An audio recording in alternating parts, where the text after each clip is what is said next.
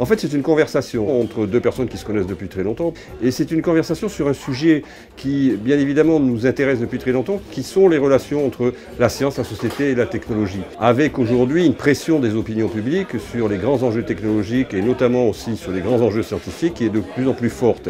Et ce que l'on constate, c'est que très souvent, les politiques qui sont là pour prendre des décisions sont désarmés parce qu'ils ne disposent pas tout simplement des outils euh, qui sont les outils intellectuels qui leur permettraient de prendre ces décisions et que les scientifiques eux-mêmes sont parfois désappointés par les questions que leur renvoie la société. Donc à travers sept grands thèmes, qui sont des thèmes à la fois des thèmes de société, des thèmes scientifiques, des thèmes technologiques, on a essayé euh, d'aborder des sujets qui aujourd'hui font l'actualité. C'est les fake news, c'est l'intelligence artificielle, c'est le transhumanisme, c'est la communication, c'est la question des écrans, le rapport aux écrans aujourd'hui transforme aussi parfois notre vision même de la société et notre vision du quotidien.